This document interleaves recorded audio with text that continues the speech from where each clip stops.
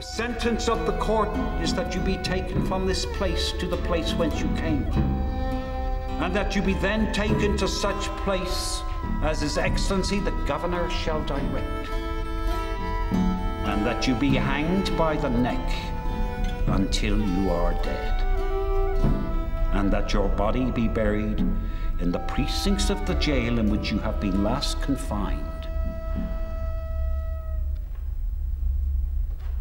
May God have mercy on your soul. I will see you there where I go.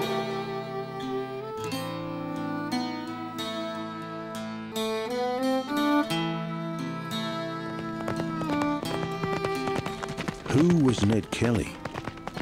Australian hero or murderer? Terrorist or revolutionary? Freedom fighter or bushranger? He loomed larger than Robin Hood for me. He was someone that was was uh, was an Australian and an Irishman who uh, stood against the, the forces of uh, of oppression. My family don't see it that way. They see him as uh, someone who murdered three policemen, who had been a horse stealer before. They had a criminal record before that.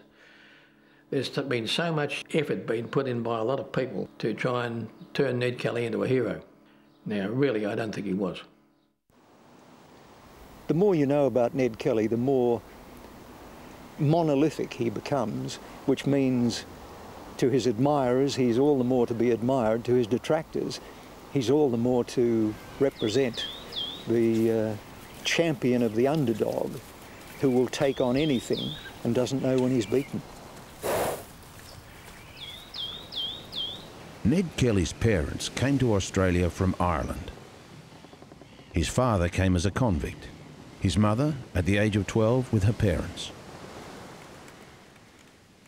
This, of course, is, is a very um, small family tree. It's just the basic people.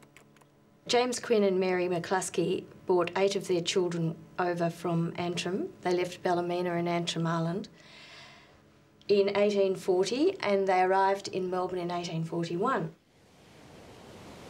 I had seven darling children, and one by one the lot of them sailed out across that great big sea to that land so far away.